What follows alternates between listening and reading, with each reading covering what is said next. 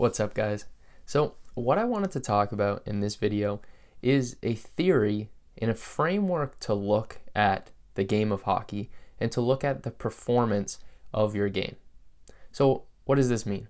Okay, so it's the simulation theory. So there's this common theory that exists that believes that it is possible that we could live in a simulation at this very moment. Now, you can look that up, you can look into the details of that.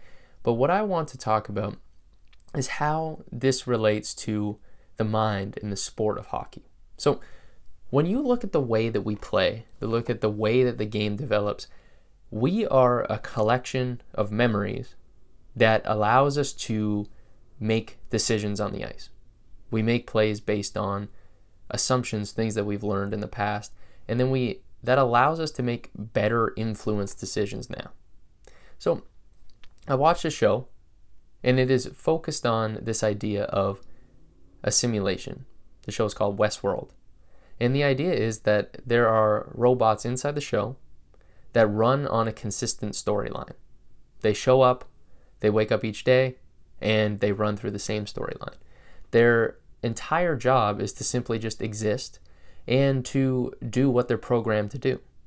Now, when you're in a hockey game, there is a lot of similarities here. There is this idea that we are free, this idea that we have the choice to do what we want in games. But ultimately, what we do have is what we've done to prepare for that moment. Now, most of the time when we're on the ice, we are simply just a reflection of the things that we've practiced, the things that coaches have taught us, the things that we have seen in games in the NHL or in past games, the mistakes we've made that we've learned from. We're this collection of things. And in any given moment, it is very hard to make a decision uninfluenced by those things, and you may not even want to. But what we want to consider is what if you are running on a storyline? What if your entire career so far has simply just been a result of other people's decisions, other people's programs? And this is what great players do.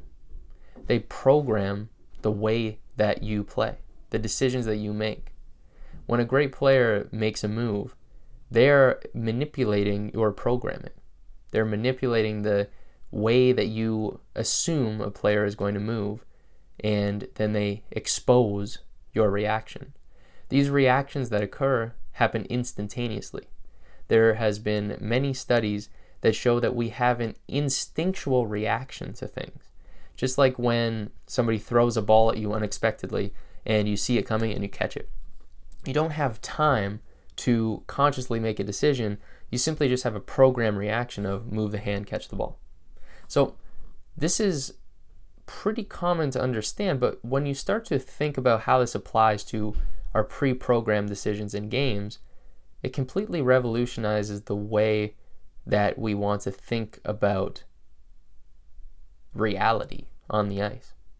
Because no longer are we processing the game from this position of complete freedom and we step into every game with unlimited opportunities. We have a lot of limited opportunities. There's a lot of limitation in our game, in our game. So, how do we use this? How do we leverage this to improve our game? Well, when we understand that we have these pre programmed decisions that occur, what we want to do now is actually break free from our programming. Now, how do we do that? So, step one is learning how to become extremely present, unbelievably in the zone. Because when we tap in to being extremely present, we exist on a razor thin line of existence. Because what we're often doing in any given moment on the ice is processing just ahead what we are what we think is going to happen. So say this is the moment, this razor thin spot. What we're usually doing is processing and thinking ahead to what's going to happen on this side, or we think on this side about what just happened. Rarely ever are we tapped into that exact moment? And when we are able to tap into that exact centered mo- moment, excuse me, what we will realize is that there are moments when we can become free of these programmings. But it only happens for a few moments. Great players are able to tap into this more often. And this is when you see these unbelievably creative plays. What's happening here is they're tapping in to what we call at Identity 2.0 the true self. They are tapping into something that is past your programming, that is past the simulated reality. You're tapping into this insane experience. Because again, our mind is simply just simulating what is around us. It is processing it, you're seeing it, all that's happening is you're seeing it, it's coming back into your mind, and you're just creating an interpretation of what you see out there. So, when we can escape that pre programmed notion of what we're supposed to interpret when it comes back in, that internal perception, it opens up a completely new opportunity. So, consider that. Think about how that could work in your life, but really genuinely think about how you may be caught up in the hockey simulation and how you may not have much, as much control as you think you do on the ice.